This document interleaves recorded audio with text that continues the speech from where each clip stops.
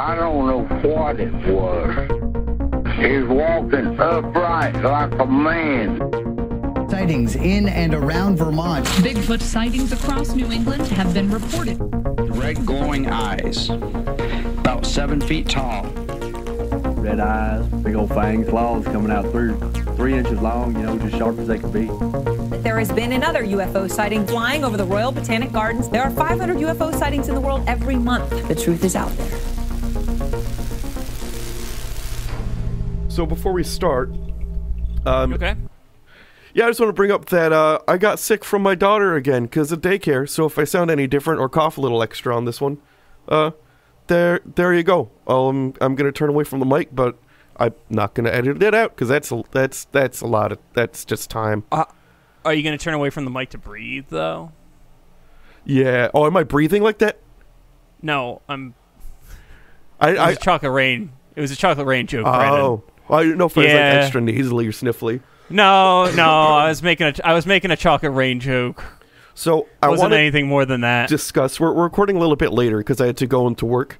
Um, yeah. this morning. I mean, realistically, we're not recording all that later because I'm usually late to recording. Yeah, fair. But I, I moved to like a corner office with a window because woo woo, and um, Moving on up. moving on up. The security guard side. when I when I came in was the oldest, frailest man I've ever seen as a security guard, and um, so I Hmm. go in, I move my I move into my new spot, and uh, a few hours later, I'm leaving, and as I'm leaving, I hear him on the phone, and he he says, um, to presumably someone in IT or like a younger relative of his, uh, Uh huh. I was on the internet. It won't go away. It says if you like what you see, pay here. so th- so this guy was was uh he he was He was cranking it. he was cranking it while I was moving my office. He Way to, into it. way to go, old man. Way to go. He was cranking that shit. He was cranking that soldier boy for sure.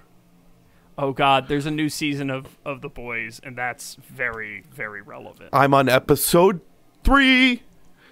Did you finish it? I I finished um season three, episode two. Okay. Did you see season, Yeah. episode one yet? I saw episode one, two, and three, and that's why I it said Soldier Boy. is sure very opens relevant. strong, doesn't it? What was the opening? Oh yeah, yeah, it does. The uh, cricket, cricket man, Termite. Termite. Yes, His name was Termite. His name was Termite, and uh, yeah, that man's that man will never be the same. Well, not Termite. Termite. Well, he'll probably never be the same either, for that matter. yeah. So that's You don't do you don't do what Termite did and come out from that as a as a person who's ever going to be the same. no. No. That was very interesting. Yeah. So uh, uh, here's our, our show recommendation list for this episode: The Boys on Amazon, Shoresy Mm-hmm. on Letterkenny. Uh, sorry, Shoresy on Hulu. Uh, Letterkenny spinoff. I say it's better than Letterkenny. Oh, there was something I recently watched that was terrible. But I loved it. I, know, I started watching The Floor Is Lava season two this morning. Yeah. So good. How's that going for you? So Okay. good. I like dumb shows like that. I like Floor's Lava. I like The Circle. Circle the circle had uh not a twist ending, but I was I was slightly surprised. I think I saw. I think. I think I anticipate. Well, I, not anticipated, but Uh, was rooting for that individual. Yeah. The the winner the winner was on my list of people who I would want to win, my top Yeah. two. But uh the ending with um probably the single worst catfish that's ever existed. Actually, two of the single worst catfish that have ever existed was interesting. Yeah. funny story funny story uh if that person was actually correct in saying that they're from the town that the uh sopranos house is in my girlfriend lives in that town Nice. it's north Cad- uh, cadwall north cadwall whatever I don't know. Yeah. So she would be I like, "Oh, there." that's uh, such and so from the place." oh no that that wasn't that was it was more of like oh god is that person actually in the same town as me Yeah. Oh, jeez. Um, cause like, cause like for me, I don't remember town names. I just remember how to drive places. I actually have. So here's the like weirdest thing about me, and like I think you can attest to this because you Yeah. you've you've you've driven shotgun to me on many occasion. I have very very very good sense of direction, Yeah, yeah. I I, I, I agree. but if you ask me to explain where anything is, I'm just like I don't know, but I can get there. that when I worked at the farm uh, place, the the the guy that owns it was the worst directions giver ever because he'd be like, "Oh, go until you see cows and turn left," or whatever, and he'd be like, "Where is that?" He'd just be like, "I don't where," and then one time. He literally drew on the hood of the box truck because I had to do a delivery on the dirt on the hood, like roads and he wrote like the word cows in a spot and then just wrote like big tree and it's like what how do i how am i supposed and then i have to just go find somebody else who knows road names that can explain to me where i'm going So could you could you de de uh, decode this for me uh-oh just a little bit? No, I'm just I was just saying. Oh. oh, did I go did I go dead? there's no no no Anywho. Um, did you see uh, Chip 'n Dale Rescue Rangers though? i saw the the important part with uh sonic in the beginning Bad Sonic. You should watch the whole thing. It's really funny because you also haven't. Have you seen the? Have you seen all the parts with Sonic? no so i watched part of that during a um memorial day weekend i went to um my my in-laws place and when it got warm outside i just went inside with the baby and like had her sitting on my lap and, and my nephew put on chip 'n dale rescue rangers Chippendale Rescue Rangers. no Something danger. no Na, na, na, na, na, na. it was a cool like mix ho- how they did the different like 2d and 3d animations in the uh I well, they weren't actually 2D and 3D. They were just different shaders. yeah That's the secret, Cap. well nothing's really like animated 2d anymore it's all just 3d That's not entirely true. There's a few things that are still animated. there's a few They're not they're not using cell animation typically, but that's Yeah. a whole other thing. So But like I- we're we're you're we're splitting hairs here about what 2D animation is. Yeah. I just don't like watching anime where it's clearly like 3D models. That like so turns me off. That sometimes that's true for me, but sometimes it works. Like I, I even had a hard time with the new season of Shield Hero with the uh, big turtle thing because the big turtle thing was clearly a model. Yeah, I mean, but that's actually something you can kind of like rationalize Yeah, because like- it's supposed like- to be. That's that that's my limit of like how much I can take. Is the the turtle from the new season of uh, Shield Hero? Gotcha. Gotcha. That's my threshold. um. That's your Godzilla threshold, that's my Godzilla threshold. Yeah. and by that I mean Godzilla in 1998. That does not hold up. By Let the me way, look that up. Is that Godzilla 2000? no, Godzilla 2000 is a totally different movie. Let's see. Let's take a look at this stuff. Godzilla 1998 is the Matthew Broderick film that has the iguana. Godzilla. Oh, Which- that one. So here's the problem. Matthew Here's the problem. Killed two people in Ireland. Well, that's one thing. That's one of the problems. Uh, although I think I have more of a so Matt Matthew Broderick uh, was a car accident, right? He drunk He drove dr- into two he people. drunk drove. Yeah. Um, I have more of a of a problem with Mark Wahlberg, who did a racism. he and- did do a racism. I think he killed somebody. I can't remember. He did something really bad to somebody. Anywho, let's not let's not talk about let's not talk about this. Um, but The what I was gonna say, we need is a defamation suit. which I don't even I don't want to talk about that either because there's a lot of really negative connotations that come out of that suit. Um, in terms of like how people view abuse and such, like really big problem. Yep. uh, it's gonna it's gonna have some consequences and like going to it's going to suppress people's ability to uh, to call people out when they're you know being abusive shits. But that's a whole nother thing. Um, we're not gonna go into that. Uh, but the 1998 Godzilla movie is actually not terrible. And I That's say the that one where they, they're in like Madison Square Garden. yeah. I, so I I say didn't that, like that when I watched it. I liked it when I watched it. I actually loved it when I watched it. That's I, I usually Um, like the Godzilla movies. That was one of the ones where like during the watching it without looking back, like at the in the moment, I was like, this isn't super great. Well, it's not a Godzilla movie. That's the thing. Then don't why is it consider Godzilla? Well, they fucked up, but don't consider it Godzilla. If you don't consider the movie Godzilla, um, and you consider it Zilla, and it's a separate kaiju movie, then it's good. If you Is consider what as a we Godzilla do to all movie, the bad Godzilla movies? Is we just call them Zilla and like make them their no, own no, thing? this is a this is a very specific case of Zilla. Zilla is the is the iguana from Godzilla 1998. okay. Um, and that one, I give that movie a pass because it does something different. But it's not a Godzilla movie. It's closer to a Gorgo movie than it is to a Godzilla movie. Yeah, it did have some unique things that, if it was done It- to any other franchise, would Well- would be like a novel change.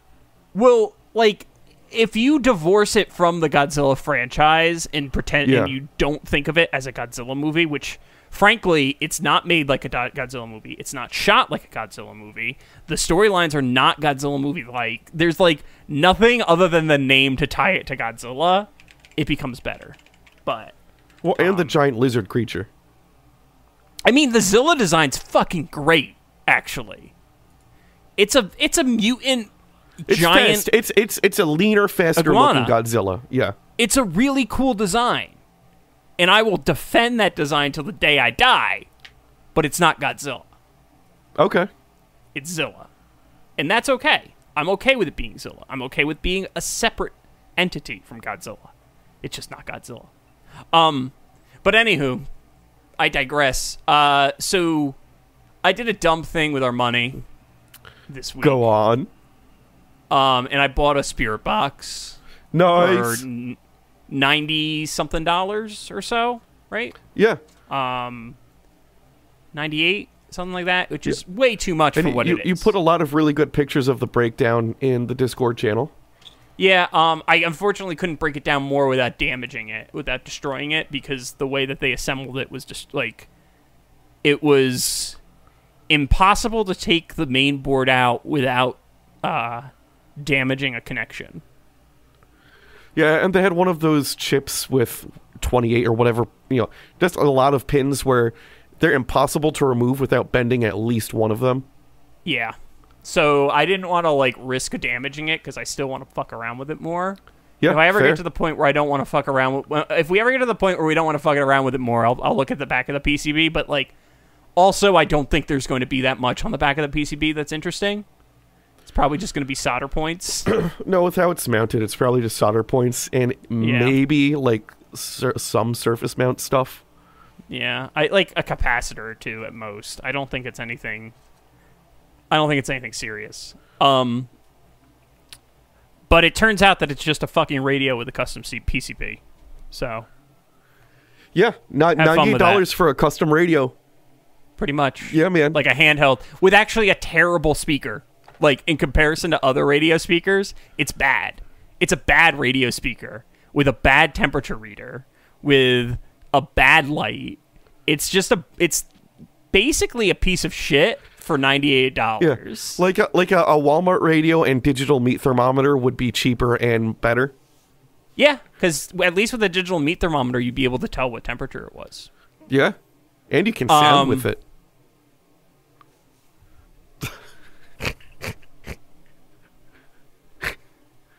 Oh, Brandon. I'm so we were talking about the boys and you know yeah. That's super relevant.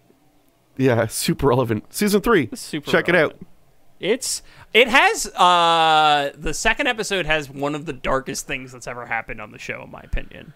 What's I just watched that. What's the dark thing in that? Uh it's it's Homelander's birthday and he finds something out that makes him upset Oh yeah, and then yeah. he does something that is probably I mean, he's done a lot of bad stuff, but it might be the worst thing he's like done. you have to be very specific with the boys and say like, oh, it had something dark in it, because it's just all super dark. Um I will say that there's like I, I definitely look at like a trigger list for the boys because if it exists, you if you have a trigger, It's in there. it's probably in there. and if you don't, you'll probably find a couple new ones at least. Yeah. Um.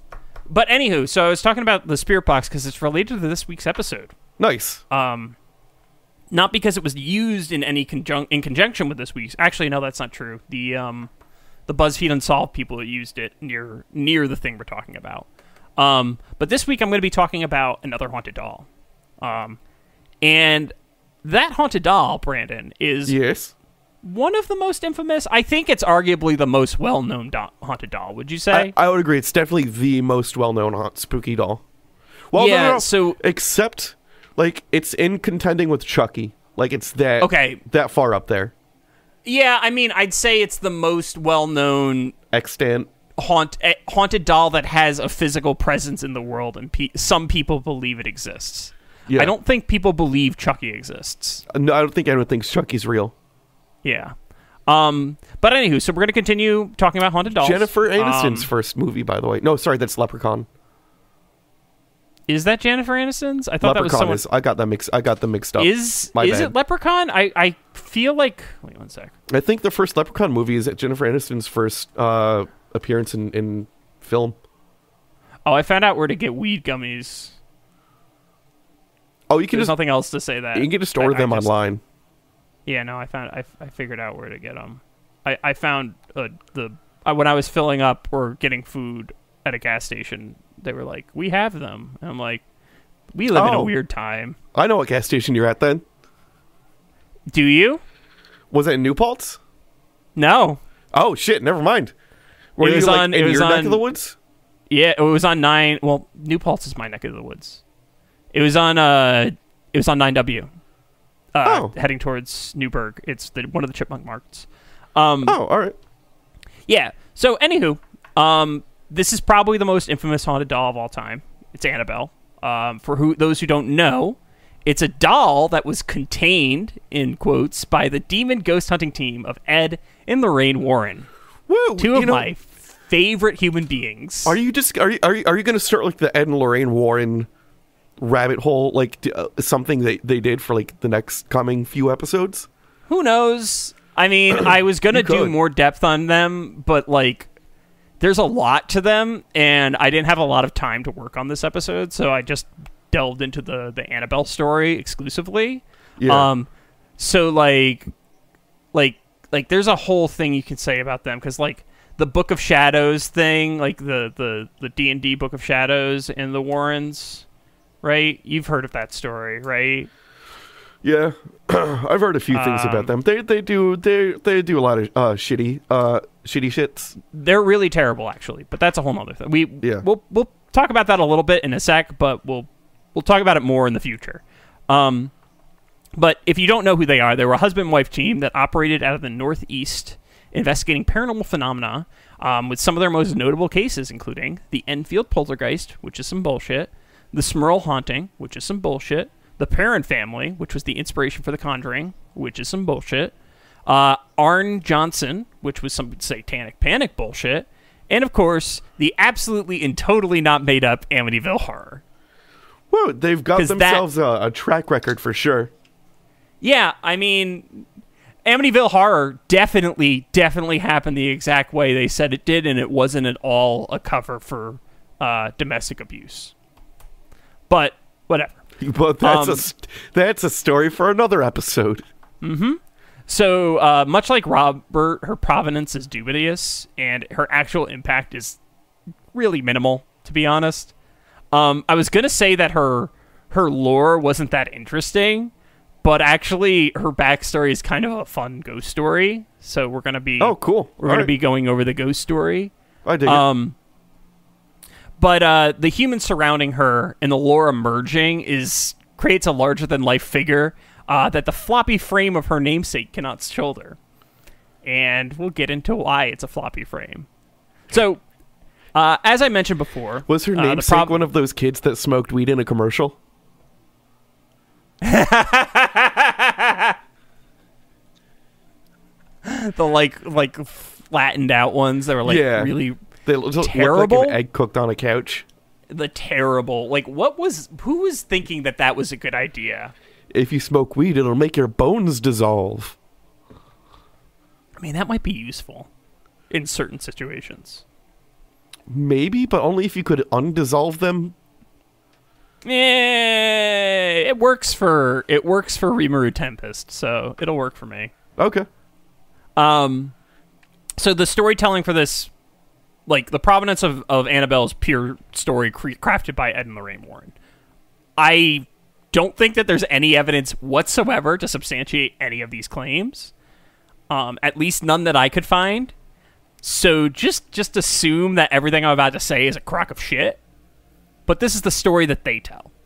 Um, I do want to go into their life in more depth because there's a lot of weird shit there. Like they had an assistant that I'm pretty sure was just like like uh Ed's mistress Oh. that like just traveled with them. It's Yeah. a there's a whole lot of shit there. like in a, Um, in a in a fashion that Lorraine was aware of and just cool with her. Like she was, she didn't know he was like tongue puncturing her her fart box or. I might have been aware. I don't know. Okay. This is this is this is getting into territory where I'd have to look it up, but it's I definitely remember him having a mistress with a weird relationship and yeah. Okay. Um but anywho, so we're going to be adapting the account of Annabelle's like history from the Warrens' own NESPER, which is the New England Society for Psychic Research, which is such a uh, they had a chance to call it psychical research, and then it would be more like Ghostbusters, but Yeah. they didn't take it. Um, although Ghostbusters came after though, so whatever. Um, so our story, Brandon, it begins in 1970. Woo! So you know we got a lot of leaded gasoline going on. A lot the of leaded air, you know. gasoline. Frank Zappa's running around, doing Yeah, lots of cool stuff. Like. Um, LSD is still like easily acceptable, if my memory is correct. oh, you can still get it. Like super easily acceptable though. Like in the '70s, it was really easy to get because what's his face? Well, they made it, and then they were just like, "You just be dosed and not know it." yeah, that was like that was like. I mean, the CIA is basically res- responsible for counterculture Yeah. in no uncertain terms. for for just dosing communities just to see Yep. what would happen. Um, so anywho, uh, the mother of a soon-to-graduate nursing student purchased a Raggedy Ann doll from a local hobby store. Um, and you heard that right. The haunted doll that holds, holds down its own media franchise, clocking in at three movies, uh, is originally what I would call one of the, the single least frightening and intimidating dolls in human history Yeah, they're adorable. like a Raggedy Ann doll, like if a Raggedy Ann doll came at me, I wouldn't be scared. Like even if it was possessed by an evil entity, I'd be like, "That's a fucking piece of cloth." Why am I scared of a rag coming at me? A That's literal a rag. great premise for a fucking horror movie, a horror comedy. I mean, it's like it's a possessed to- doll, but like it's just fluffy and just it's just pissed off and can't figure out how to kill people. Like it's always its its efforts are always frustrated. everyone thinks that it's like trying to uh like love them and like, "Aw, I love you, Snuggle Like, Bear." it's really just trying to strangle them to death, but it Mm-hmm. so the doll's just fucking furious all the time. Snuggle Bear, you always know exactly when to give me a hug. Yeah. And like it's Um, slow, so it thinks like, oh, he brought me a knife to help me cook. Like it's in the kitchen, but it can't move fast, Yeah. so it. Oh, Um, so not only that though, Brandon, the name of the doll is very uncreative that they gave it. Like half of Annabelle was already in the name of Raggedy Ann, oh, you're right. right? Like one full syllable practically. Raggedy Annabelle. Um, yeah. So, regardless of its innocuous trappings, the gift was a birthday present for Donna, who, characteristically, has no last name nor location, which invalidates any form of fact checking that we could perform on the doll. Curious. Um, mm hmm So Donna lived in a tiny apartment with her Um, fellow nursing student Angie. Where's her apartment located? Oh, that's a good question. Um, I don't know. Oh, Uh, it we know that it's so we know a little bit about it because it's going to be covered in the future.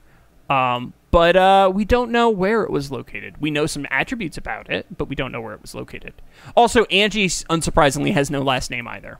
Oh, because, nice. Yeah. Um. So Donna welcomed Raggedy Ann into her house as a bed decoration because that's what you do. Yeah. I mean, she was in her. If she's a nursing student and she's like she was about to graduate, so she's like early twenties, like 21, 22, somewhere in there, right? Yeah. roughly. Um, it's a little like uh, yeah. So as all good haunted dolls do, the initial experience with the doll was small movements, right? Because like every haunted doll story starts with, "Did I put you there? Yeah. Were you in that pose? Why are you dabbing?" You know that kind of stuff.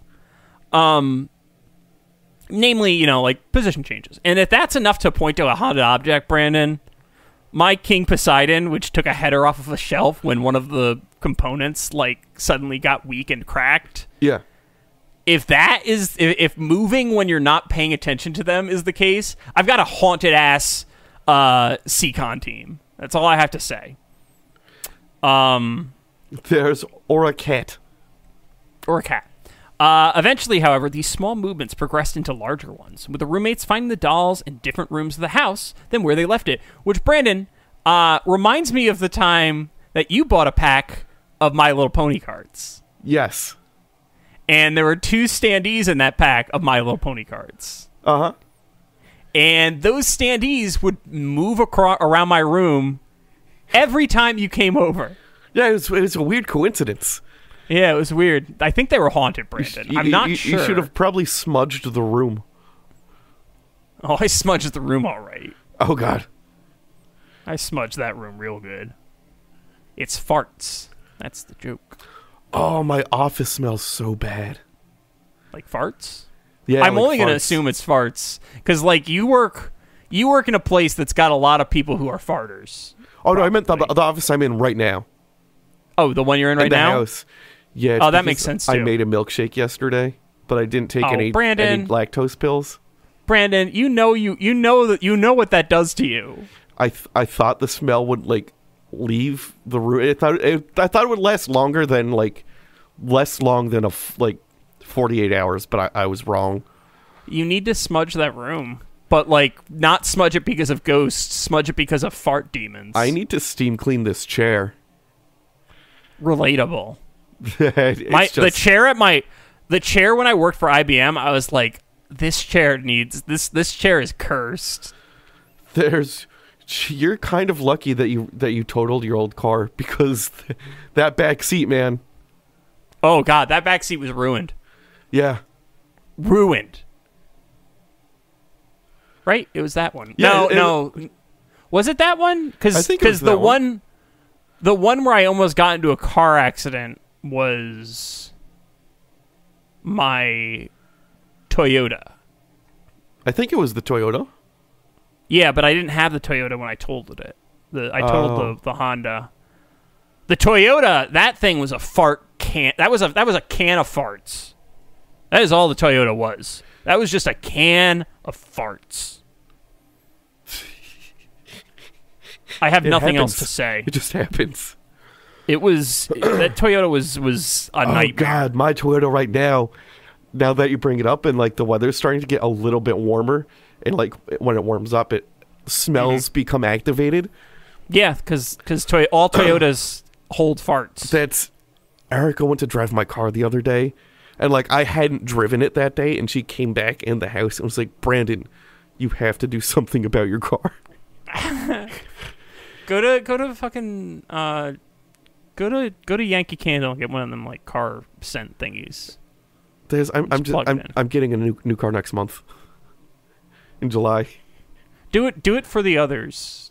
Do it Do it for f- the others. Do do it it for the next person who owns the car.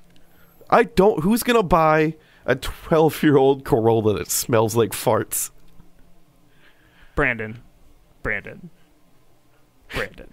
Yeah, A lot of people. There- a lot of people.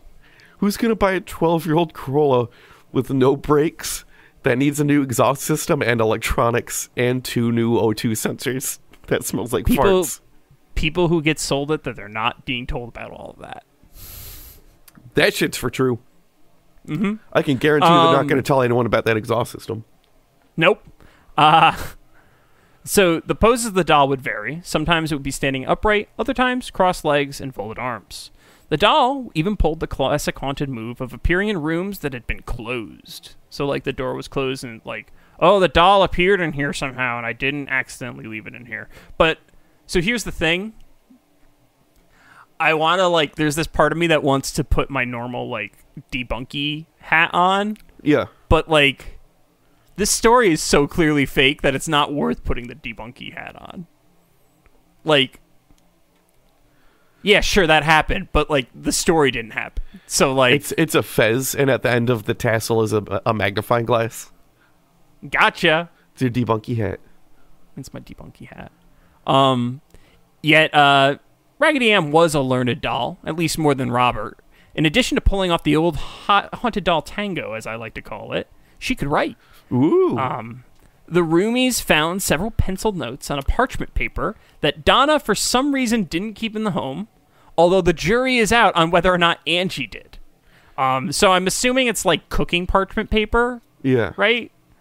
Which is like super cheap, first of all, right? So like saying that nobody has keeps it in the house is like kind of bullshit because it's like, yeah, but you could like walk to the corner store and pick it up. Like you could go to the gas station and get fucking parchment paper, right? So like I don't know. So But- something I, I want to point out is that the original Raggedy Ann dolls, Mm-hmm. not the one in the image, but the like the vintage ones, Yeah, didn't have thumbs like that one does. They had No. little they had little bumps. Like they're thumb thumb bumps. But it, it reminds me of it wouldn't be posable like that that uh the one in the image. This one's just covered in fucking stains. What happened to it? Um, big cummies. Do you just say big cummies? Yeah, big cummies. It got big cummied on. Um, Just But Sam- hot ropes. yeah, a lot of ropes. I mean, look at look at the hair. Look at that hair. She's just asking for ropes. Oh, actually, talking about hot ropes, uh, heads up, up to like 70% off specific items on adamandeve.com. God damn it, Brandon. You can get yourself 25% off a clit sucker. The Super Sucker Pro 2. What about the humbler? They don't do. I, I didn't explore if they had a humbler. Okay. Um, so sample messages that this uh, Annabelle would well, we don't know her name yet. The Raggedy Ann would write were "Help us" and "Help Lou." Now, naturally, if the activity just ended here, the infamy of Raggedy Ann wouldn't become a recurring rogue in the Warner Brothers stable of characters. The shift in tone of the story, uh, however, occurs when Donna finds out that the doll had once again been moved in her absence. However, this time it had blood drops on the back of its hands and chest. Raggedy Ann was on the Raggedy something. The Raggedy Rag. So the reference, I'm not actually, never mind. I'm not going to say. I was going to bring up on a Mambo number five joke, but it's not worth it. No. Help, like help Lou Bega because he needs a little bit of Annabelle in his life. Oh, that's very Uh. It, it- it's said the time. I had to look up the lyrics. The time passed. I shouldn't have brought it up. Uh, no, you shouldn't have. You should have waited until we mentioned Lou again. Oh, was he? I didn't know he was coming back up. He gets mentioned again. He gets mentioned again. Oh. You could have you could have waited for it, and it would have been perfect timing. But you know what? You fucked up. You fucked up. But I don't okay. fucked up. It's okay. We backtraced it. Um, so interestingly, the blood that was on her hand, her chest, and her uh, hands was still liquid, which implies that that's fresh. Yeah, Cause, cause like blood dries super quick. relatively quickly. Yeah. Yeah, like like I have blood spots on my like near my face on my my my blanket because I have a body that hates me. Um but like yeah, like I've never I don't think I've ever found a wet sticky blood spot ever. So I unless have, like but it's always been mine from a cut I didn't know I had until I f- found it later. but like was it on your body still? The blood? Yeah. Yeah, like I I usually don't really until I'm like, oh, my pants have this weird blood spot on them. Yeah, yeah, but that's that's you're still bleeding actively, right? Oh no, it'll it'll be like, like I'll I'll like bump into a nail or something and not notice for like three hours. Brandon, is your is your blood clotting all right? You okay? Well, like yeah, it's it's fine. It's so here here's the for people who who who are prone to injury. Yeah. What you learn is that if you get a cut or puncture through an item of clothing, it never really heals right because it'll drag partially, and then you'll like move your arm or something, and then it'll pull the cloth off the wound and like reopen because it's like pulling a scab off again. So you keep yeah, have this know, weird like half wet, half crusty like patch. I I know. I'm still worried about your clotting factor. That's all. The- well, Just a little. we'll see. Are you walking the whole time? Are you moving around the whole time? Because like, Yeah. Although I might have to go on blood thinner soon. That'll be interesting. Because getting That's old like- sucks, and my blood pressure is always a little bit high. that's like the opposite of the fear that I had. I thought your blood was too thin, but I guess it's not. Um, I have the thickest, best blood.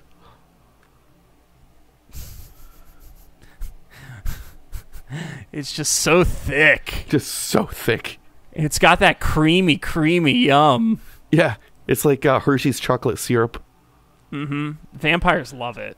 Yeah, They can't have too much. They can't have too much. that's. Can a vampire get diabetes from drinking the blood of somebody that has high sugar? I mean, we can only assume, right? Like, there's nothing. There's nothing about vampires that say that they have increased. Not well. That's not true. We'll have to depends wait on the it for the, It the new depends on the version. yeah. It depends on the version of the vampire, right? Because some vampires have increased regeneration speeds, but not all of them, right? Like, there's some that Yeah. don't. I mean, shout out like- to what we do in the shadows. Tackle this next season, please. That would be interesting. It would absolutely be Matt Berry's character who gets the diabetes, though. Oh yes. Oh. without, without a doubt. Um, so, returning to the uh, Raggedy Ann, or Annabelle, who you will, um, the pair called in a medium to conduct a seance to find answers about their new housemate. Um, and Brandon, at this point, I want to just like pause the story, even though I've been uh, the story's been on pause because we've been talking about blood. Um, but I want to pause the story to talk about the Warrens a little bit and Okay. their cosmology. Um, do you know anything about the Warrens in terms of like their religious beliefs or their like s- their spiritual beliefs? No, I mean presumably there's some kind of Christian, but I I don't know. So they're like hyper Catholic, Yeah, it sounds that's about par for the course. like like super strict Catholic dogma was the thing, and if you did anything even remotely uh not related to that, you were basically like, "Hey, demons, inhabit me." Yeah. right? That was like their whole thing. Um, naturally, of course, Annabelle is just another example in their case against literally any other religion or spiritual belief, uh, Uh-huh. other than their specific blend of Catholicism. Because like this is a point in the story where things begin to take a turn for Donna Angie, and that's because they contacted a medium, right? Okay. Um, so, as a result of the seance, the pair learns that the doll was inhabited by the spirit of Annabelle Higgins, a totally real person who I've ne- who who's not made up in the slightest. Um, Annabelle supposedly had been a young girl who lived on the property that currently housed their apart- apartment complex. For some reason, the Warrens' telling finds it important to note that the media called her life on the property as happy times. However, it doesn't uh, appear that they did the necessary research to identify whether or not the story was accurate or even verifiable. Although, um, given uh, like the way that they're going to twist this story, they'd argue that no, Annabelle wasn't real. But still, The Warrens I'd would never do- twist any story, John. That's ridiculous. Yeah, no, they're very well known for their honesty. Um, so Annabelle Higgins was supposedly found dead uh, at age of seven, age of seven, age seven, in the field near where she lived. Once again, easily verifiable because that would be like there would be a record. Even like Yeah. there would be an obituary. seven seven is old enough that you're like all right i guess we're gonna have to record that this person died yeah. right like you're pushing if it was like if she was five eh who needs it, It- like i mean she's Yeah. five that's like barely any time right like in the olden days but seven seven's like on the on the borderline you Are probably the seventies the olden days, John? well annabelle died before the 70s Oh, gotcha. and she died before the the apartment complex was built on the field. So yeah. Um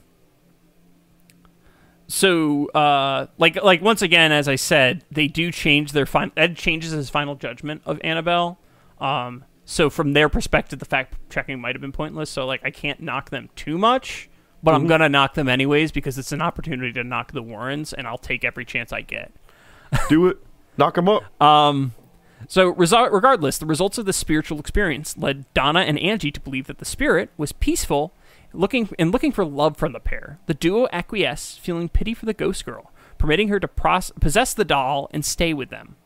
Now, at this point, if we're watching a uh, a Conjuring movie, uh, the sinister music is going to start to play as they drive back home, right? Nice. Because like, because like you've just had this heart-filled moment, and now like it's like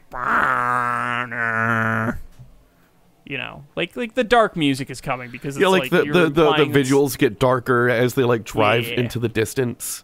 yeah and like they're pulling in and like you know there's like like a, a really like aggressive like uh minor key playing in some play or another There's a swing set that needs to be oiled with a swing just blowing in the breeze. Yeah, and even though like there's been previous shots from that perspective, the swing shot was never there before, but now there's a swing shot there for some Yeah. reason.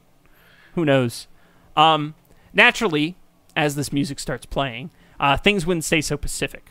Otherwise, why is Annabelle in Warren the Warrens Occult Museum and deserving of her own spin-off franchise? You remember Lou, the one you were going to make the Lou Bega joke about? Yeah, yeah, that Lou. Yeah, you could try making a Lou Bega joke in a few seconds. It's too late. I Uh, closed the tab already. Yeah, that's fair.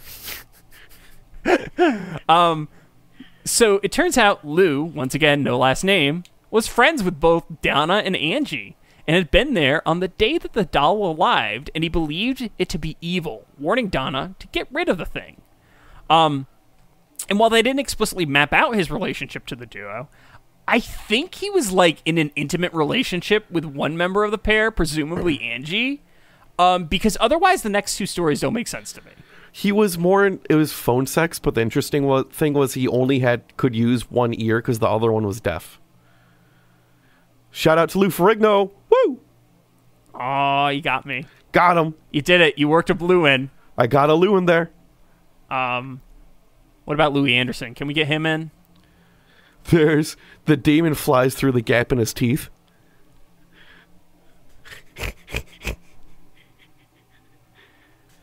One night, Lou was woke from sleep in a panic and appears to have been afflicted with a bout of sleep paralysis. The room appeared Oh. empty to his sleep paralyzed vision until he turned his eyes to his feet where he saw Annabelle. Once again, I want to remind you this is a Raggedy Ann doll. So, Yeah. Brandon, just picture this. You're laying in bed, you got sleep paralysis. Uh-huh. You're looking around, you look down, and you see like a fucking Raggedy Ann doll staring at you. Hard as a rock. I figured Diamond. you'd say that. Good cut. Diamond. Diamond? Yeah. Yeah. She better watch her step. Th- those cummies will blast a hole right through her head. Um, so the doll is then said to have glide- glided up his leg slowly until it reached Oh, his chest. Yes. But it uh, it skipped the it skipped the diamonds, apparently. Describe it slower. Uh no, Let me No. get the fun sack out of my closet real quick. no, the fun sack. Yeah. Okay, you're gonna need to explain this to me it what where does the fun sack go? The fun sack goes in the closet when it's not in use. But when it's in use, where does the fun sack go? Brandon? Listen, the fun sack goes wherever you want it to go. does it? Yeah. Can you bring the fun sack to uh, a theme park or amusement park? I wouldn't recommend it. No. Why? Why is that? The, You the- said it can go where it wants to go. I, uh, I, um, I mean, you could. you Yeah? get a lot of weird looks if you took anything out of the fun sack. Oh, okay. So the fun sack is a storage device. The fun sack is a storage device. Okay, the fun sack is not itself the fun thing. No. The fun in fun sack is referring to the implements within the fun sack. Yeah, the fun sack's a, a black cloth bag. Nondescript. Yeah, nondescript. Now, what kind of what kind of fabric we dealing with? Are we dealing with like a cotton blend, or are we dealing with like? Are you literally looking at a fun sack uh, at a bag right now, Brandon? Brandon. Brandon. My, my headphone cables aren't long enough. Is Get this over it. is this is this not a f- like completely a joke? And is this oh, no. real? No, we own a fun sack. Oh God. I regret instantly prying into the fun sack. Um. So, anywho, gets on a chest, and somehow, somehow, Lou is strangled by a Raggedy Ann doll. To death? No, no, because he's he's still telling the story, right? Oh, yep, yep. That makes yeah. sense. So like, um, it was to the point of asphyxiation with him ultimately blacking out. The next yeah. morning, I, hell yeah, I don't know if there was consent here though. I don't think I don't think he had a safe word with Annabelle. I mean, the, you don't need a safe word. It's over when you're done. So the next morning, Lou allegedly believed it not to be a dream. However, the writing at this point in the official account is super fucking confusing. And I'm not sure if this is implied to be a dream or if it's implied to be real, because they also talk about the fact that he's been having a recurring bad dream, and I don't know if this is the, the bad dream that he's been having, or if it's just something that happened in addition to it. It's Huh. like really not well written Yeah. right? Um, and that's partially because the Warrens haven't shown up yet, so like they don't give a shit, um, because they're honestly super narcissistic in my opinion. Um, regardless, Lou would have had an additional encounter with Annabelle, this time alongside Angie. And while they were planning for a road trip, which once again is why I think they were in an intimate relationship, the pair Okay. heard rustling room sounds from Donna's room. Naturally, Lou did the dumb thing all horror protagonists do. Well, not actually. No, not the protagonist. It's usually the person who gets killed first who does this. Uh, he went to the door and investigate, right? He waited for the rustling sound to stop, which is baffling to me. Like, why would you wait for the sound to stop before you open the door? Open the door while the sound is happening. Catch them in the act. Yeah, too spooky. They're not going to be like, but like if you open the door when the rustling sound stopped, you give them a chance to react. Oh, you know what? This reminds me of like a while ago. Um, Erica and I went on a trip to uh, like a spa resort thing, just to like get a break and, and, and you know, our the in law watched uh, Pika overnight, and we never thought to tell her that the cats like to open and close doors. so she kept noticing that the door in the kitchen like would be closed and then would be open. Like whenever she'd go in, like the door would be in a different position. Until eventually Amazing. she saw the cat like pushing it. Amazing. But she was, I guess, like, like what the hell is that? Try- trying to figure out how the door's moving. It's pretty good. I was about to ask if the fun sack was involved, but I don't want to know the answer. With the cats, no. The trip, but we'll, we'll move on. oh, that one. Yeah, I don't want to know. I don't want to know. it stayed. It, know. it stayed. It stayed home this time. Okay. I don't like the implication of this time, but anywho. Uh, so he opened the door and turned the lights on to see no one but Annabelle in the corner of the room. As he approached the doll, uh, he felt as though someone was behind him, and then he felt a flash of pain across his chest. Allegedly, Lou's shirt was stained with blood, and he had seven claw marks across his chest three vertical, four horizontal. As is the case, um, the marks healed rapidly and were gone in two days. And once again, no photos, no evidence that this actually ever happened. You know, normal Oh, stuff. Normal stuff. And they just washed the shirt, like right I away. I assume. Probably. Man, Um, let's see. they're bad at documentation. Yeah, I mean, for a, a group that's called the New England Sci- Society for Psychic Research, they're really bad at research. Like really Um, bad. Yeah. So at this point, uh, if we're talking about a movie, like the shot's going to change. It's going to be exterior of the Warrens' house, and you're going to hear like a heroic music, right? Because that's what happens. Um. At, so they enter the, the the story as Donna now believes the doll is evil. Hilariously, in their write up of the case, they show their bias towards Catholicism like really, really obviously. And I'm going to be quoting directly from the the the Nesper report now for a lot of this because the way that it's fucking written is insane. So let me just take a quick drink of water and then we'll. We'll get a reading. I hope you all enjoyed that ASMR. Um, so after Lou's experiences, Donna felt it was time to seek real expert advice and contacted an Episcopal priest named Father Hegan. Father Hegan was a spirit felt it was a spiritual matter and he needed to contact a higher authority in the church. So he contacted Father Cook, who immediately contacted the Warrens. Now, the fact that they say real expert advice kind of tells Yeah. you exactly their opinion on everything. It's pretty pretty fucking clear, right? Um, they really don't believe in non-Catholic belief systems. I mean, to be fair, I don't either, but I also don't really fully believe in Catholic belief systems either. So I'm a little bit of I'm a little bit different. I'm an equal opportunity. I don't believe in it. They they choose their their their battles that they I'll- their things they believe in. Be interested. Well, they say it's an Episcopal priest. We'll see how it goes.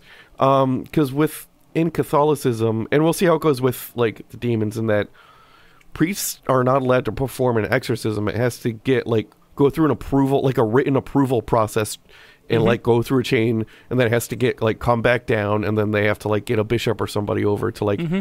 Like it's a mm-hmm. whole thing. It's not just like call a priest and get an exorcism. Like it's Yeah, no. it's a it's a No. thing. Yeah. Yeah, the, the, the rite of exorcism in Catholicism has like a lot of rules involved with it. It's not like it's not like the um the evangel the evangelist exorcists who do that like be gone demon thing, you know, Yeah. like the the revivalists. It's a totally different thing. Um lot that you can say about that.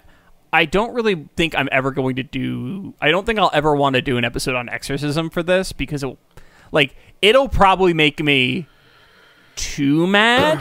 there's a lot in the it's different for like every different version of like Catholicism and all that that there is, and then a lot Yeah, of it's but- like abusive.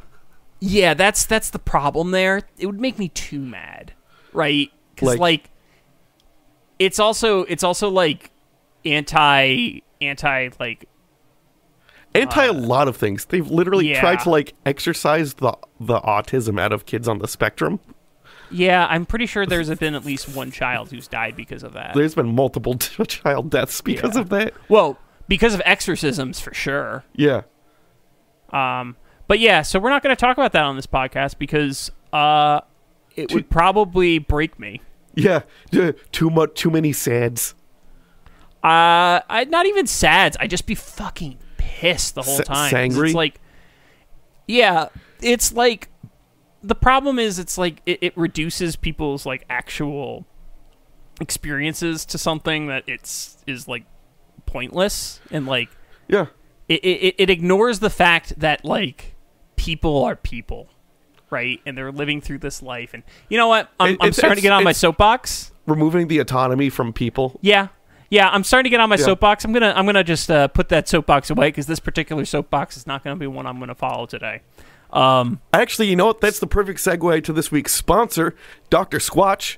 Uh, soap. we don't have a sponsor Shout out Dr. Squatch. Uh, will pay us. That's no they're not they're not gonna pay, us pay have their- they emailed you for uh Bigfoot. They want Bigfoot. They're they're doing Dr. Squatch X Extreme Restraints crossover soap for your butt. is what they're making soap for your butt. It's spiked. Honestly, honestly, that'd be fucking cool. butt soap, soap. would be awesome. Butt soap, butt soap that's made by Doctor Squatch and uh, or Squatch soap and um and Extreme Restraints would actually be something I might buy. Hell yeah. It'd probably be in the shape of a penis. A Sasquatch There's two kind. penis. There's one that's for the butt, and one that's just a ring, so you can clean the outer diameter of you know your bits. So the Warrens uh, overestimated their abilities and their importance in the church because they do place themselves as like the person who immediately contact there is immediately contacted by Father Cole, right? Like there's a very clear line that you can draw between the process by which they get involved in the case and their like own self of uh, like their own sense of self-inflated ego, right? Yeah. Um, more importantly, however, Brandon, I don't actually think any of the clergy in the story actually exists. It's possible. Like, yeah, I don't think so. But I didn't do a whole lot of research, so if they exist, someone tell me. But I didn't find them. Um, so the Warrens jump into the story, and immediately, and when I say immediately, Fred, I mean fucking immediately, start talking about their form of demonology, and because um, if you're not familiar with it, like that was like what Ed considered himself. He considered himself a demonologist, whereas um, Lorraine was the one who had um, psychic powers or whatever, right? So, Yeah. um, instead of summarizing the investigation, Brandon, I'm just gonna like read the two paragraphs that Nesper wrote about it.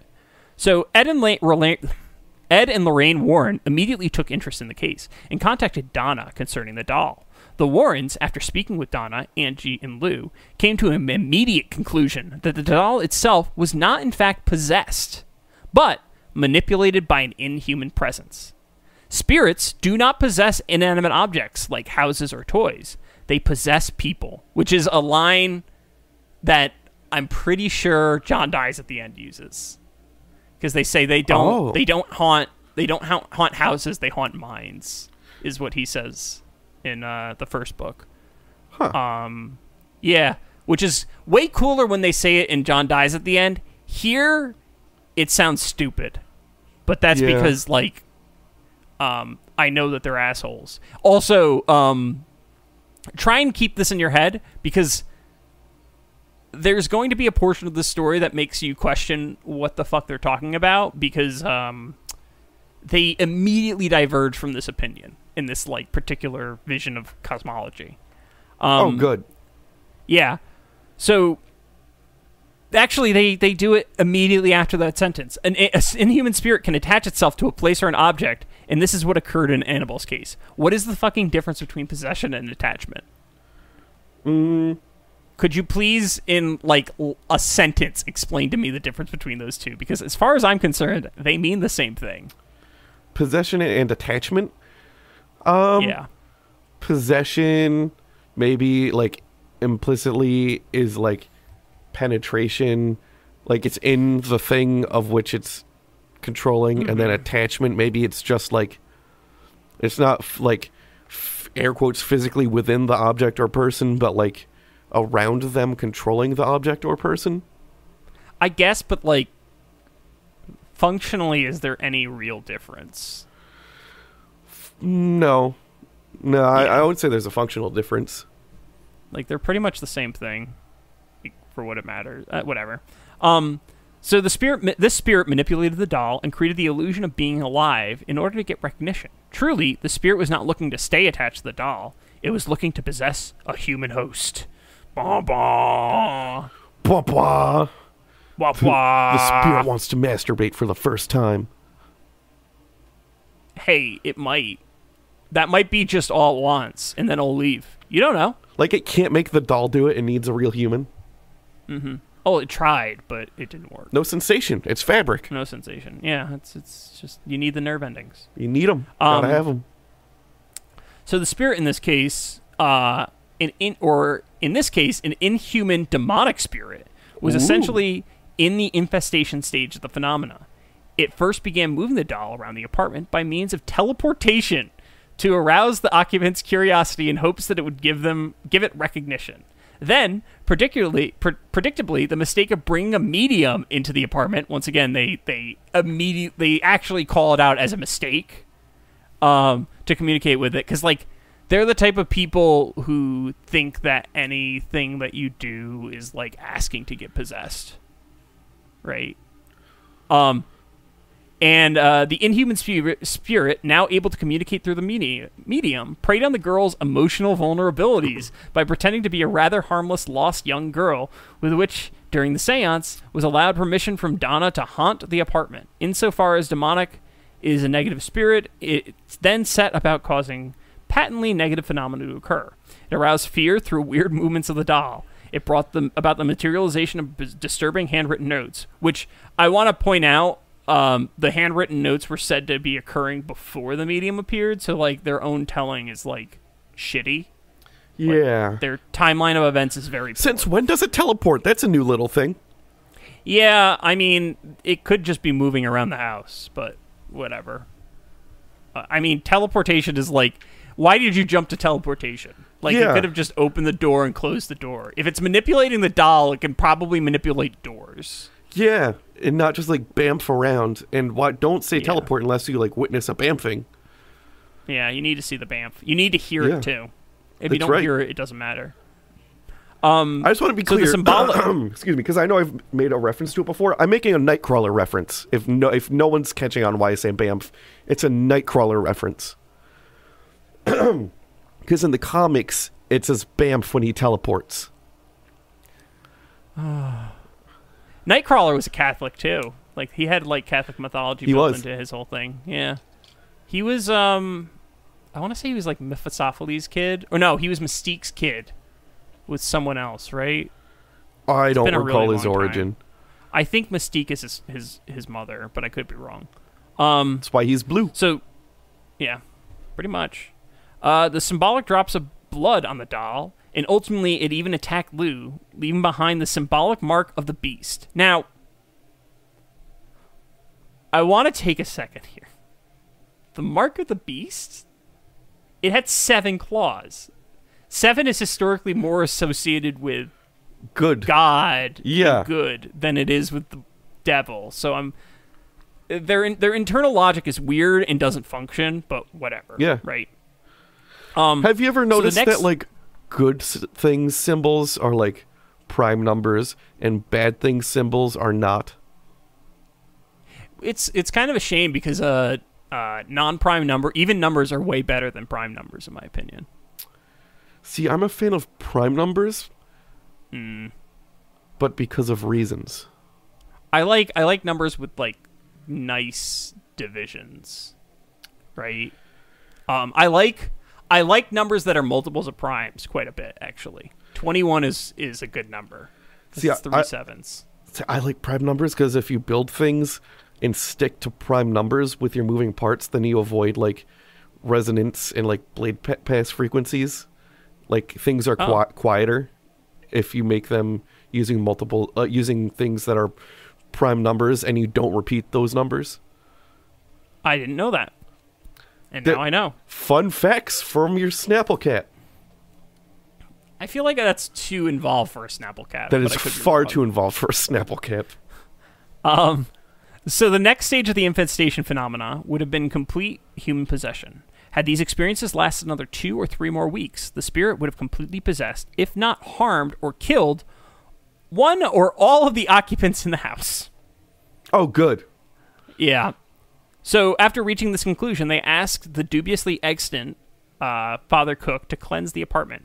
Weirdly, the story on the NESPR site takes this moment to directly quote Ed Warren in the write up. And I mean directly quote. It has like parentheses Ed Warren after this Yeah. quote. And when I saw it, I was just like, what are they doing? Where is this quote coming from? Because I didn't see I didn't see a references list at the end. There was no pen there was no there was no um bibliography. So like we have no idea to, where to pull this from. Um, the Episcopal blessing of the home is a wordy seven-page document that is distinctly positive in nature. Rather than specifically expelling evil entities from the dwelling, the emphasis is instead on directed towards filling the home with the power and posit- of the positive and of God.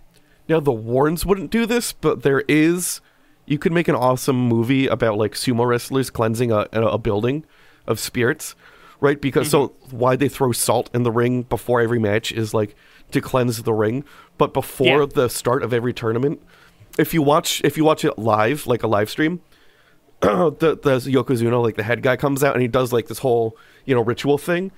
Mm. And it's he's driving the bad spirits out of the arena, and the chat just gets filled with people writing like, "Get fucked, demons!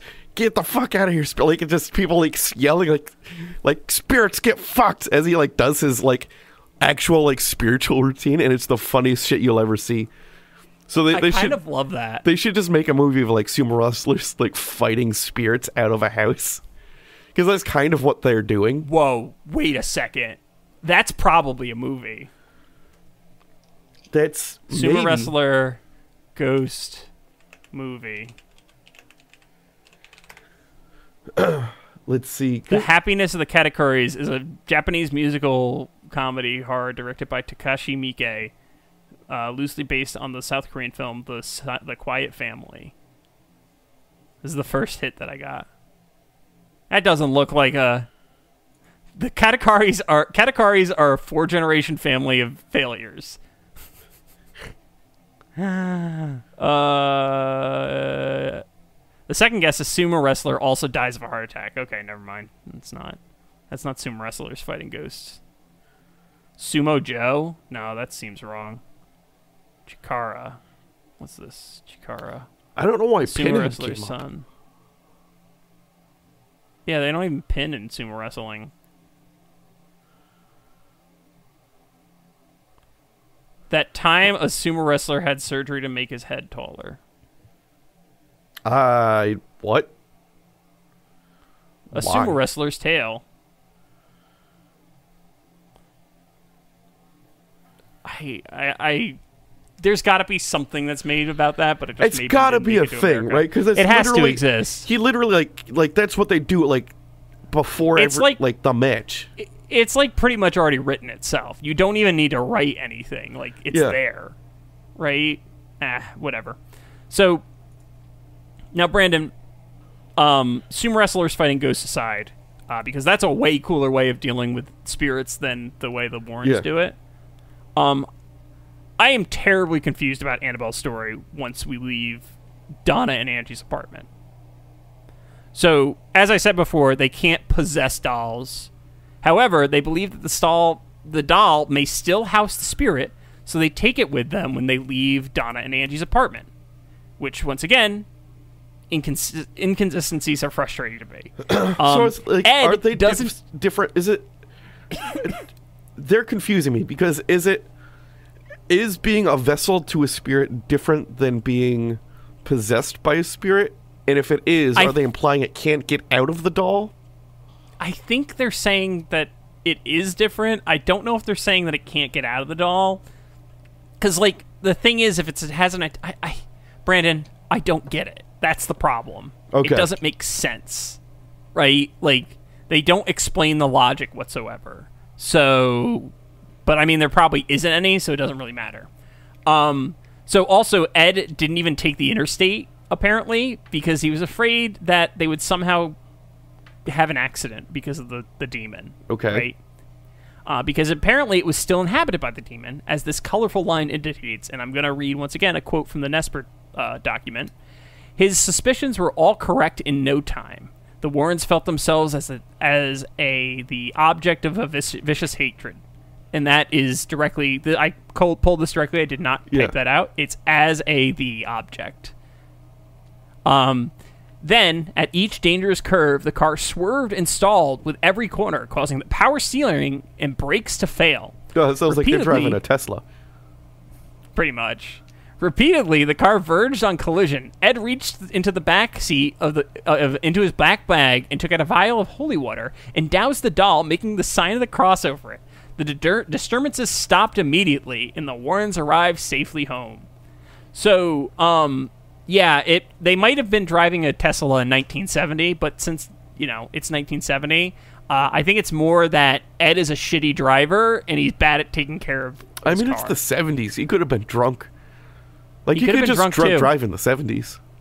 Yeah, I mean, in the '70s, that was before like alcohol, like beer was con- like drinking beer. You you weren't considered an alcoholic if you drank beer. Yeah.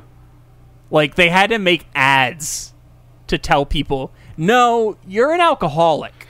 Yeah, that's like that's so funny that that happened too. Like, Like, I, uh, it- like I don't know. It's it's not funny because it's super depressing, but like, yeah, they needed to make ads to tell people that they were alcoholics because. um. Anywho, once they were in the home of the Warrens, the doll continued to pull the same old tricks, jumping between rooms and even levitating Cool. which it had never done. Um, incidentally, Annabelle was said to have a penchant for causing automotive accidents. In one case, a priest had his brakes fail entering a busy intersection, which, yes, that's scary, but like if you're entering a busy intersection, and your brakes fail, just keep driving and take your foot off the gas, yeah. right? Like, because like the number of times I drive through an intersection, I ne- my feet never touch the brake is frequent, actually. Um, I might even argue it happens more often than I hit the brake while going through an intersection. Yeah, I try to use the brake as little as possible. But it's also because I don't have brakes really right now. Yeah, that's true. Um, so after and, and these this brake failure happened after he called Annabelle just a Raggedy Ann doll. Jeez. Do they only buy Ford Pintos? What was it? It had a magnesium like engine block, right? Was that the was magnesium? I want to say. Excuse me. Uh, that's the one where the fuel tank was mounted um, almost against the rear bumper and had a bolt directly like facing it. So if you got rear-ended, it would just puncture your fuel tank. Yeah, no, I mean, but like then it also like burnt real good. I don't know Like, if it was magnesium, if it had a magnesium knot or block or not. Um, I don't know why you would make anything combustible. Make anything magnesium uh. near something combustible. Oh, it was a wait. Was it aluminum? No, or Pinto engine. And for people wondering why we're talking about magnesium, it's because when magnesium burns, it creates it releases oxygen molecules, so you can actually like burn magnesium underwater. So you like it, it burn real good. Let me see. One second. One second. I, this this is important because I remember hearing some. Like I know that the the design was bad. Like it was just a bad design. But there was like, I thought that there was like an even worse component to the design. Maybe. Um, I mean, like post office trucks just burst into flames because the uh, fluid for I want to say the windshield wipers is stored directly above the electronics for the vehicle. So if there's ever a leak in that tank, it causes a short, and that's why like there is a, just a known quantity of mail trucks that burst into flames each year. I hate it. Um. Oh yeah, this was one of those things where they like. I think they knew about it, and like they did a cost benefit analysis, and they they were like, "Oh, it's it's cheaper to pay people for the like injuries and the loss of life than it is to actually fix it." So it might actually be a Tesla. Pretty much. Uh. Continue tort liability and not just for vehicles. I think that was uh, specifically a thing that Ford did do. Yeah, they did. They did like an analysis that like Yeah. resulted in them not fixing it. Anywho, um, returning to this because there's another person who gets in an accident. Uh, there was a young man who had antagonized Annabelle by asking her to scratch him while visiting the occult museum. Ed is said to have kicked the individual out with his girlfriend. Um, Get the fuck out of here! yeah, he's like, "You better leave, boy." I think is what he said, something like that. Um, on their return trip, the man's motorcycle, uh, on the man's motorcycle, because I can't read, uh, they were laughing about the doll, and he lost control of the bike. The man was instantly killed, and the girlfriend was hospitalized for more than a year. Um, personally speaking, if this happened, which I highly doubt it did, um, I side with what the girlfriend said, which where they said that they were simply laughing at the ludicrousness uh, of being afraid of a Raggedy Ann doll. Yeah, And I legitimately believe with that because that would be more likely than actually a curse Because I would probably be laughing my ass off too. Yeah. Um, yeah.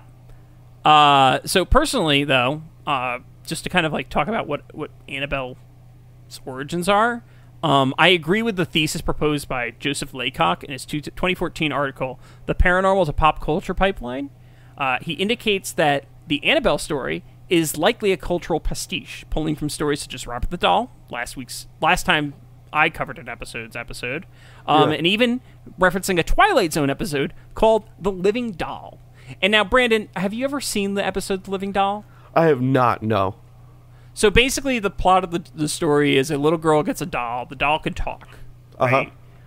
Um, and the little girl's in a position that's not great because like there's an abusive family member and like you know it's all sorts of like not good stuff. You know, Yeah. pretty pretty like bog standard abuse story, all that stuff. Like you know, it's Yeah. it's not fun. Nobody nobody's winning here. Um, but what ends up happening is uh, the doll like kills the father or the father-in-law or whatever Yeah. because they were harming the little girl, and then the the doll like threatens the mother, basically like don't fuck with this kid, right? Uh huh. Um, so the plot line's kind of similar because like there is some elements of it that are like you know like the living doll, um, the the haunting, the paranormal components, all that good stuff. Yeah. Uh, but also the mother in the Uh-huh. story named Annabelle. Oh, okay. That's not on the nose. yeah, and it came out like a handful of years before the Annabelle story supposedly happened. The uh, so the the interesting thing about um, Joseph Laycock is that his so if you go back a few years, his, his name was originally uh, was it Joseph Livingston, and he got Laycock it was actually like wait, a nom de plume. is this but like he got that in college? wait? This is real? No, it's a it's a it's a dick joke, John. It's a dick joke Oh, because his name is Laycock. oh, okay. So it's like uh, his name's not really Laycock. He just got that in college. Bazinga! Got him. Uh, all right. Well, we're almost done, so whatever. Annabelle now resides in the Warrens Occult Museum in Monroe, Connecticut, which is not terribly far away from us, I don't think. No, let's. Let's see how long. Let's see how long it takes for me to, to drive to like how long it would take for me to drive to see Annabelle right now, and then make fun of it, and then drive back. Uh, oh, you know what's what's the name of the Warren's Occult Museum? I'm just gonna. Or- Oh, they're like outside of Newtown. That's like outside of Newtown. That's like really not far.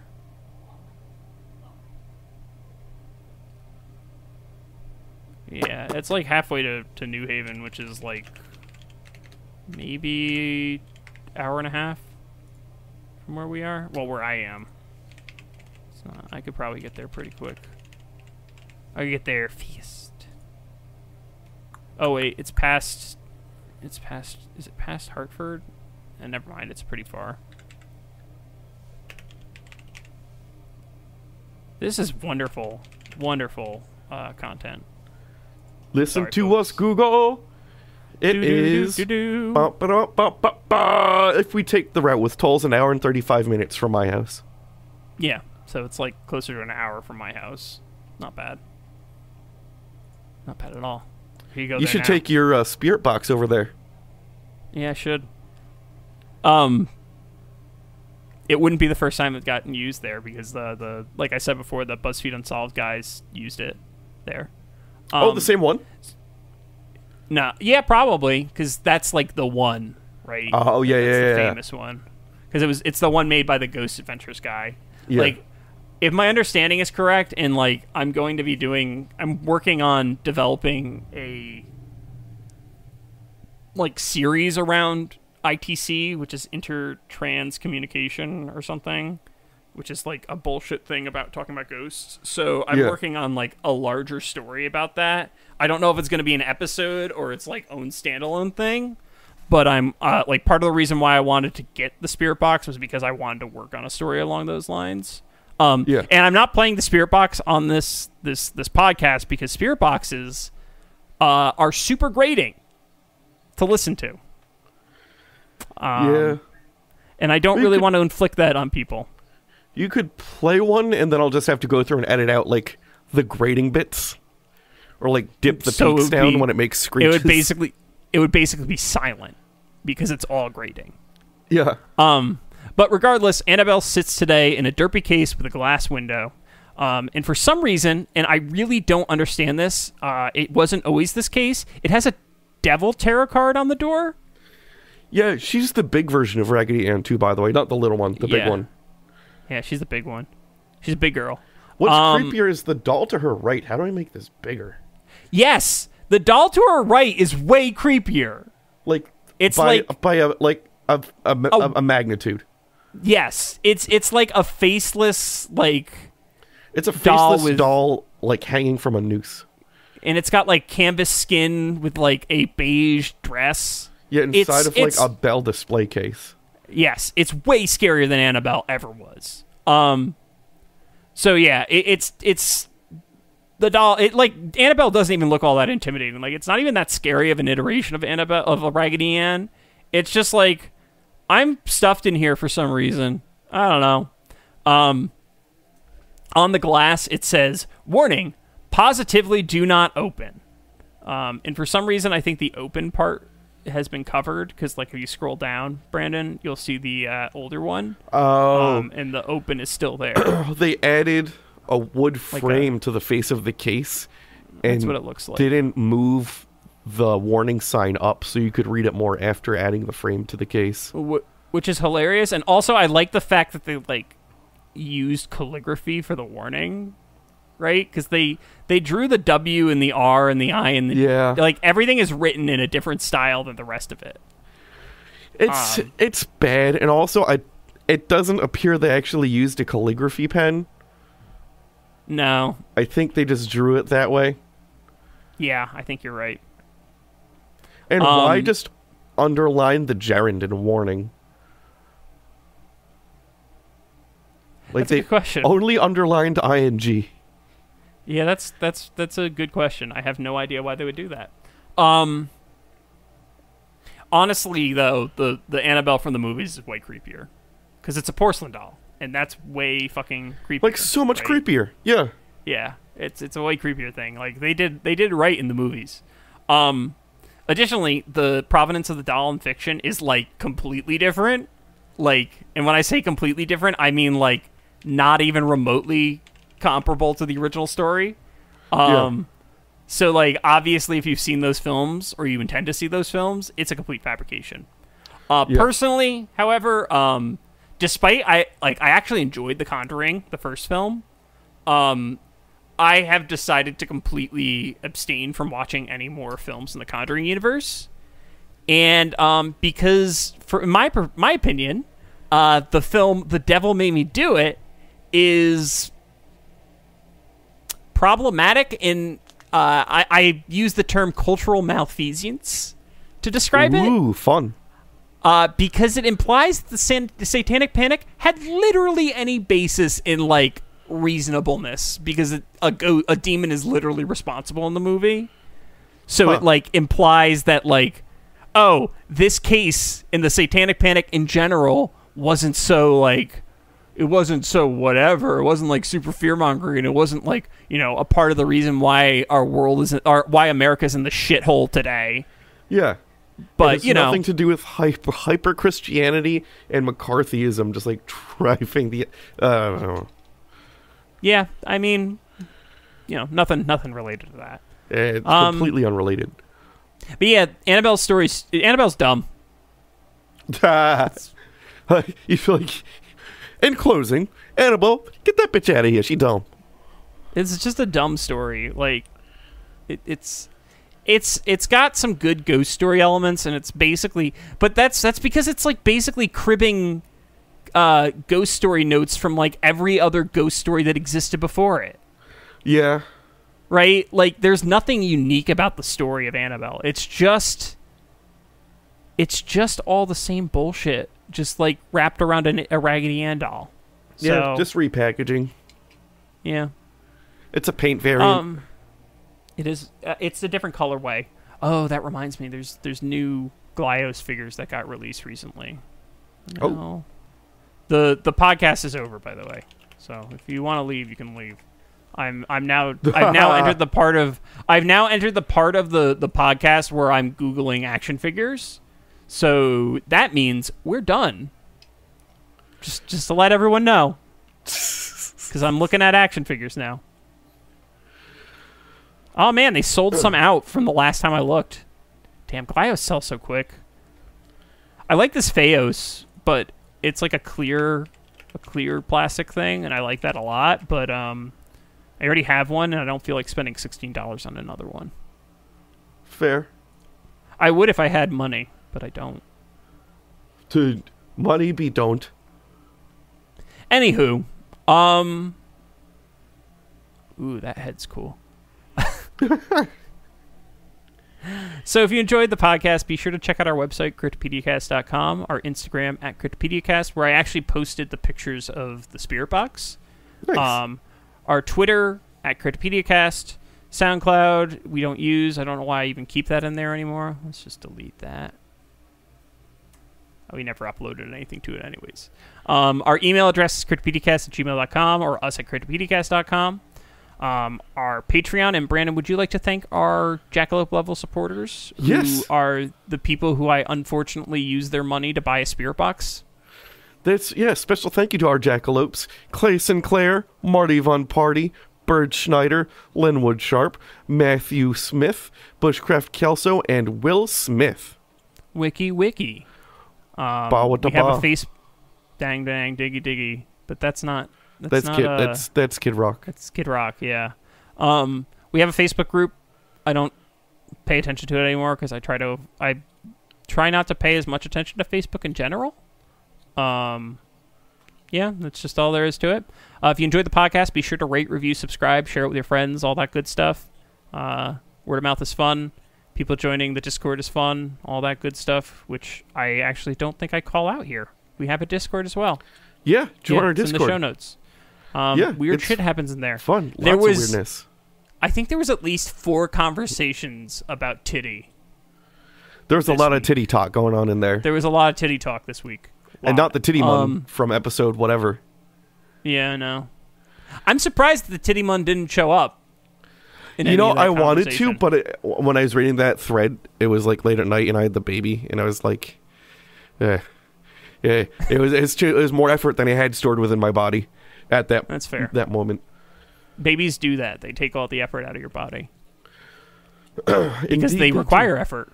They're va- um, babies are just vampires that suck energy and So- formula, So they're psychic vampires, like the They guy are. from In the Shadows.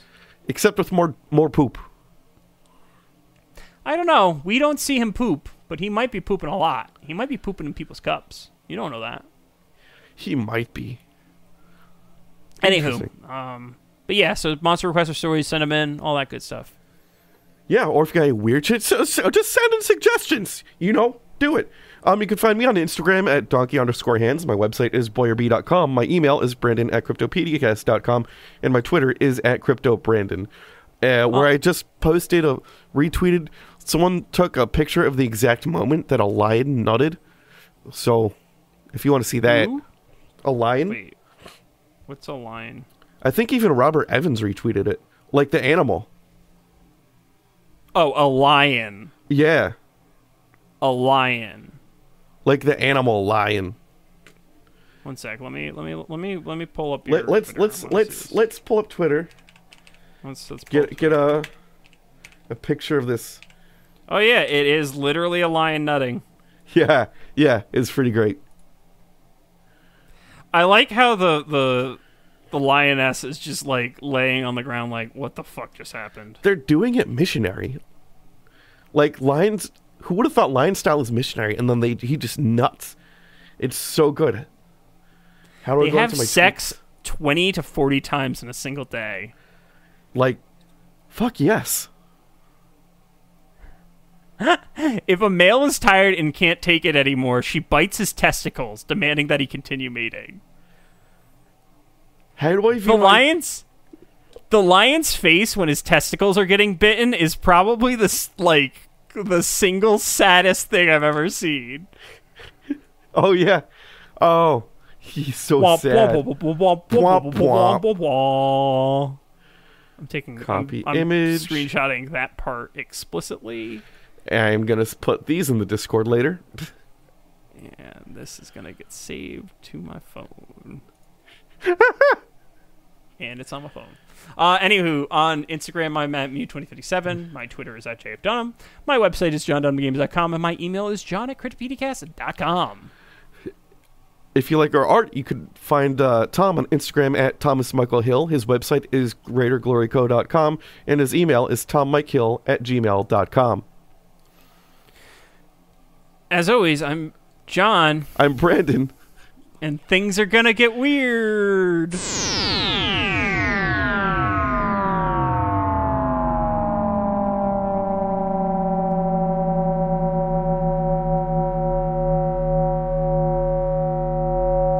Almost said I'm Brandon, Oh, and that's why I had to You pause. could've. so as we're doing that, you know that little bridge at Mohonk that like you Yeah. drive under and slow? A truck just took that out. Oh, So that road's also closed because there's just a bridge on it now.